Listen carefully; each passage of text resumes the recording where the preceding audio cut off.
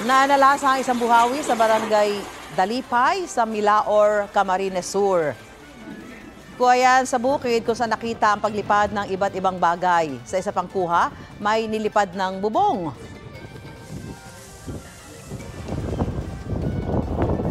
Sa Naga City, naispatan din ang pumuo ng ulap. Unti-unti itong umikot at lumakas ang hangin. Nabuo ang isang buhawi. Matapos ang ilang minuto ay nawala rin ang buhawi. Wala namang naitalang nasugatan. Kapuso, mauna ka sa mga balita. Panoorin ang unang balita sa unang hirit at iba pang award-winning newscast sa youtube.com slash GMA News. I-click lang ang subscribe button. Sa mga kapuso abroad, maaari kaming masubaybayan sa GMA Pinoy TV at www.gmanews.tv.